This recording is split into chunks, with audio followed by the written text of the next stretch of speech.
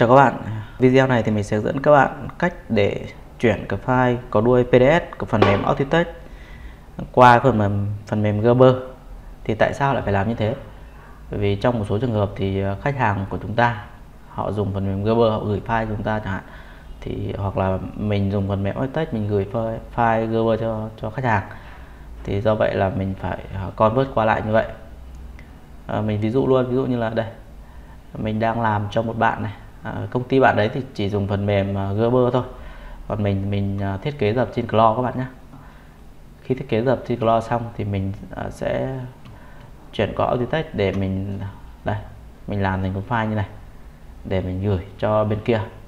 Thì bắt buộc mình phải chuyển cái file Auditech này qua Gerber bên kia họ mới đọc được. Cách làm như nào thì bây giờ mình sẽ hướng dẫn các bạn này. Đầu tiên các bạn vào file Explorer cho mình sau đó các bạn vào ổ C nhé ổ xe program file này. Tiếp theo là uh, ờ, phiên bản mình đang dùng là phiên bản off 21 do vậy thì nó sẽ nằm ở cái phần này này. Optitech này các bạn này. Bạn nào dùng 15 thì các bạn vào đây. Còn các bạn dùng 12 thì thông thường nó sẽ nằm ở program file nhân 86 các bạn nhé. Đây của mình là off 21 thì mình sẽ vào phần Optitech đây. Sau đó các bạn sẽ vào đây Optitech này vào app này. Các bạn kéo xuống để tìm cái mục gọi là PDF export.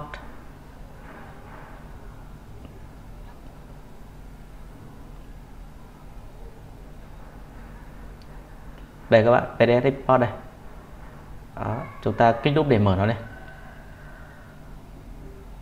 Để tiện thì các bạn à, nên chuyển nếu các bạn thường xuyên convert ấy, thì các bạn nên chuyển nó ra màn hình desktop này hoặc là các bạn ghim nó vào cái thanh top bar ở dưới, hoặc là cái thanh start menu.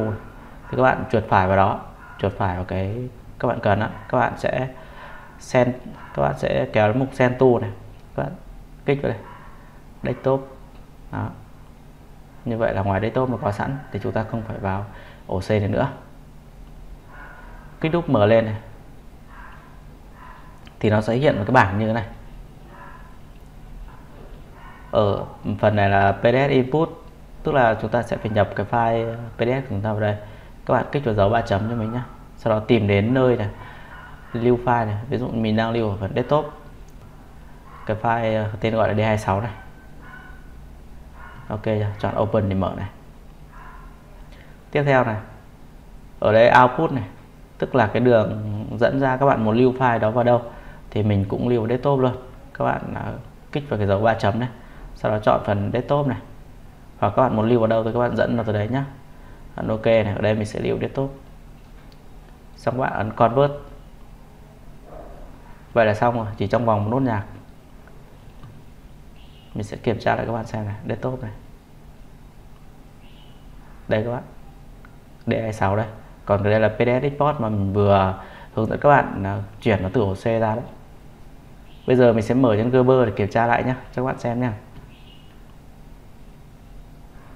trên máy của mình có cài sẵn Gerber do vậy là mình có thể xem lại được luôn, để xem là có lỗi lầm gì không. Đây.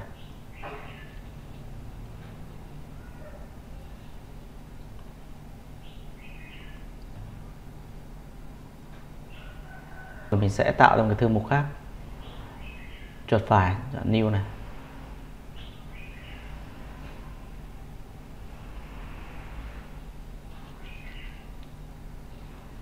Mình sẽ đi vào D26 chẳng hạn. Đây, cái thư mục mình D26 đây. Các bạn mở thư mục D26 lên. Được chưa? Sau đó các bạn vào file này. Vào phần import zip này. Đến dẫn đến phần desktop này. Các bạn lưu đã rồi, các bạn dẫn nó tới đấy. Kích đây các bạn chọn open. Ngay lập tức thì thông tin chi tiết của mình nó nằm đây này. Ấn ok thôi ok, tiếp theo. Như vậy là xong rồi. Giờ mình sẽ mở lên này, bằng phần mềm Gerber cho các bạn xem này.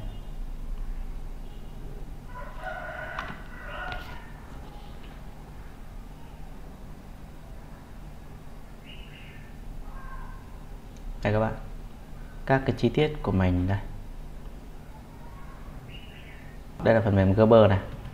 Còn đây là phần mềm Autotech này. Các bạn thấy không? Nó sẽ convert ờ, một cách chuẩn xác luôn, không bị lỗi lầm gì cả đường may đường miếc luôn này.